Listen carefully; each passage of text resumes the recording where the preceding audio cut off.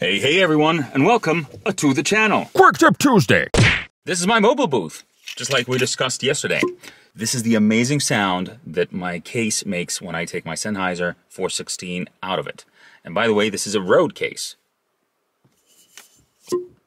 Awesome. Okay, so lots of you were intrigued by my statement about pop filters last time, and several of you asked me how this is done. Disclaimer. Future Aris here, just a quick disclaimer. This is not a video that disses pop filters. Pop filters are very useful, and a good pop filter actually does wonders for your recording, and it saves you a lot of hassle with positioning and who is in front of the microphone if you're a studio, or if you're a voice actor, it just gives you peace of mind. A bad pop filter, however, uh, can ruin your recording by filtering out frequencies that are really useful to your recording. So be careful what you choose. Now, there are times that you may have to record without a pop filter. For instance, if a studio doesn't have one, or if your pop filter breaks, or if you need to travel light and you do not pack a pop filter for, you know, efficiency. It's in those cases that you may find this video to be useful and this technique to be very effective. So let's get on with the video. Here it goes. I am recording the video on my camera, and right now the audio is from my camera, but I will be switching to the audio from the Twisted Wave app, just like on the last video, where I will be recording. Check one, two, check one, two. So we're recording here. And this is actually going to help me sync. These are going to help me sync. So here goes. This is the technique, and this is how I use my microphone when I'm not using a pop filter.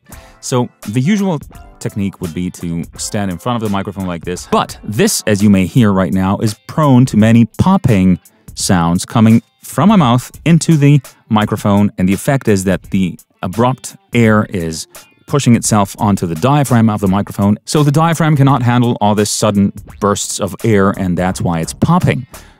Can you hear this?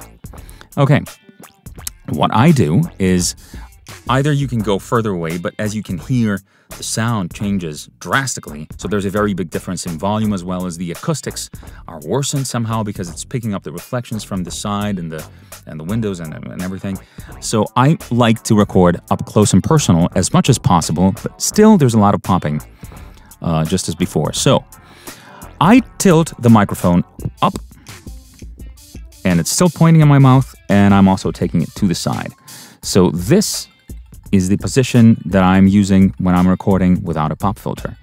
And you can use this with a large diaphragm condenser as well, because the air is going out and it's not hitting the microphone itself, but the microphone is close enough so that it can record very well the immediate, the, the, the, the, the proximate sound of my mouth, of my voice, and everything that's coming out of my mouth, but without the air. Maybe some of that was picked up. Maybe not. But hopefully, most is not being picked up in this position. That is how I am able to record um, into my mobile rig without headphones either. I am pretty secure that this is going pretty well, and you can see I'm not popping in my waveform, uh, or at least, you know, haven't been popping since I twisted somewhere there is where I twisted my microphone and started showing you the proper position. So I haven't been popping because the spikes are not too big. That's the tip for today. That's the quick tip. Um, did you like it? Do you want more of these? If you do, you know what to do. Click the like button and subscribe to the channel. There's more where this came from.